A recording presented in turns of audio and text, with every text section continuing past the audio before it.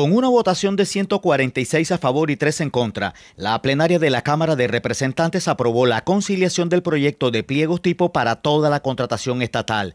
Al final, los parlamentarios acogieron el texto del Senado de la República que excluyó la participación de los mandatarios locales en los diseños de los pliegos. La iniciativa acaba con los llamados pliegos sastre, es decir, contratos dirigidos a ciertos contratistas que, en la mayoría de los casos, habían patrocinado las campañas a las alcaldías y gobernaciones.